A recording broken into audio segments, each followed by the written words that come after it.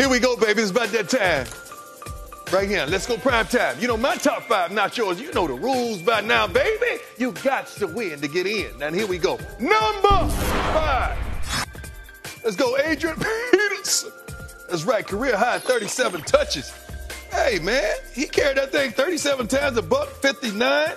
Man surpasses 12,000 yards for his career, now 14th all time. Number four, the entire New Orleans Saints defense. I'm going to say that again, entire defense, because you may not ever hear that again in a long time. And the special teams, four sacks, fumble recover, and a block punt for a TD versus Tampa Bay.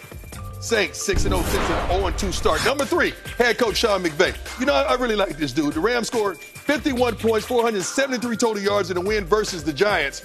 This guy has to be up right now for coach of the year in the NFL because Oh, yeah. no one seen this coming. And number two, T.Y. Hilton.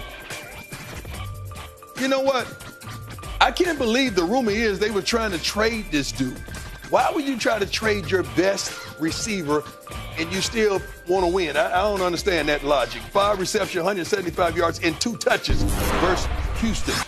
Kevin Byard, four tackles, two interceptions versus Baltimore. Let me tell you something, man. Fifth player since 1970 to record five interceptions over a span of consecutive games within the same season. I don't know what all that meant, but two straight games, man. This dude is balling, leading the NFL, I believe, with picks.